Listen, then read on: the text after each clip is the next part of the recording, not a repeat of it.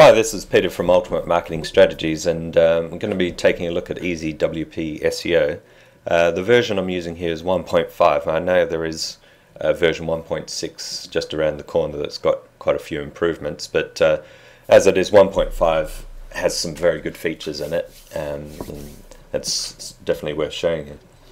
Okay, so we've uh, just installed it like any other WordPress plugin, and uh, here we are on the, the settings pages. So we'll see here that um, we've got yeah the usual stuff about automatically uh, bolding the, the keywords and all that sort of thing. Uh, although with uh, Easy WP SEO, what it does uh, from memory, I think it um, does that uh, when you create the document um, or, or, save it, so that it's not uh, it doesn't have the processing overhead of when the um, the page is actually being viewed, such as what you get with SEOPressor. Uh, again, we, it can automatically add the keyword to your images and add uh, no follow links automatically for you. Some of the other settings we've got here, uh, you can set the keyword densities. Um, the default is 4. Personally, I think that's a little bit high. Um, I generally have my minimum keyword set to 2, but uh, whatever your preference is. Uh, and then you can um, define you know, how many characters in your meta, meta description, you know, what the minimum post content should be, title, all, all that sort of thing. And that's that's really useful stuff.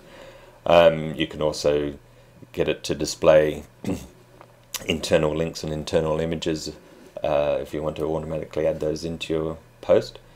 So we'll just go and update that. So we've got our keyword density set to 2.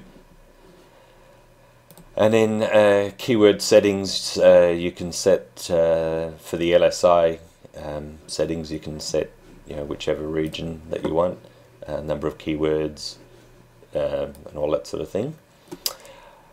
Um, okay, so let's let's go and have a look at. Uh, I've just got a an example post here that I've taken from Ezine articles on SEO. So here we are. We've um, we we don't have our keyword set at the moment. So what we'll do, we'll type in SEO. Now, one thing you'll notice with Easy WP SEO is it has primary and secondary keywords.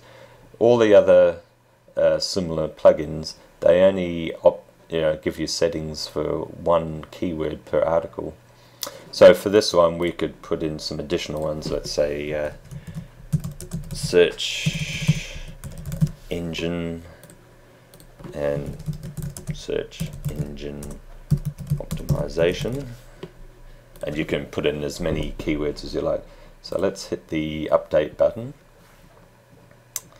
And then it will go off and uh, calculate all of the scores. Okay so for our primary keyword we can see our SEO score here and our keyword density. And because I'd set the keyword minimum keyword density to 2 you it's in green so with the analysis, we, it's broken into these tabs here so we can see our title's all good, gets all green ticks. Uh, the URL is good, the um, keywords in the in the um, in the permalink. Um, meta, well, I haven't set any of the um, SEO meta descriptions, so hence the reason they're all X's there. Uh, headings tells you H1 and H2, H3, and and in your content itself. So yeah, minimum meets the minimum number of words, keyword density. Uh, I don't have any images. There's no bold, italicized, all that sort of thing. So yeah, I mean that, that that's similar to most of the other uh, plugins, although it's it's quite handy having the the tab settings like that. Okay, so uh, some of the other things we can do. LSI.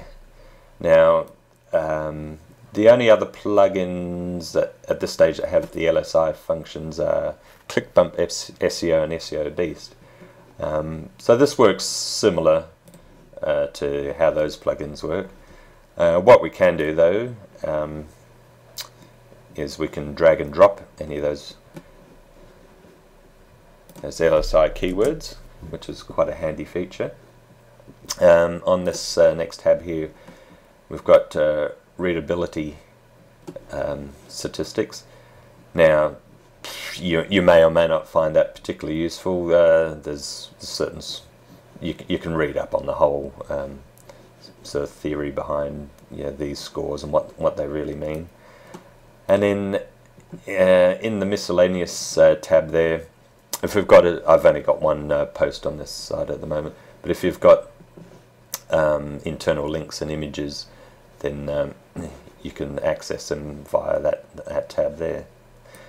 Okay, so let's have a look in our secondary keywords. So for our, you can add as many as you like. So yeah, we can just click on there. We can see for our secondary keyword there, search engine, our score is only 17%. The keyword density is down quite a bit, although for secondary keywords, um, your keyword density probably would be lower anyway, and you know, and so on and so forth for all the other ones.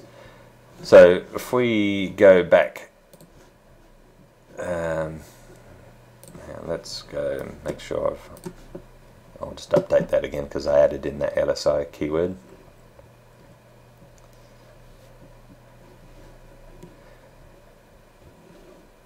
Okay, so if we go back to our main post settings here, you'll see here that um, gives us the uh, the score here. So if you've got a whole bunch of posts or, or pages that for that matter, you'll see all the the scores in that column. Also, you can um, under the Easy WP SEO menu, you can also see that and manage your keywords there. Now, one thing I should mention too is um, Easy WP SEO has the ability to import keywords from other uh, similar plugins. So if you've been using SEOPressor and you've got hundreds of posts and different keywords, you can just hit the uh, the import um, button there, and that will save you retyping uh, all of your keywords again. So that's a particularly useful feature. Okay, well that's that's a very very brief rundown of Easy WP SEO. It is um, I, I, th I, think it's a very polished plugin, and the uh, documentation is first first rate. There's uh, very good written documentation, and th plus there's videos on every single you know, aspect of the plugin. So, in terms of documentation, there's no other plugin that comes in, uh, well, similar plugin that comes in as close as it for comprehensiveness of the information that it gives you and I look forward to seeing uh, what new features are in the 1.6 version. Okay, well I hope you've found this uh, very brief uh, review useful for you and uh, definitely one to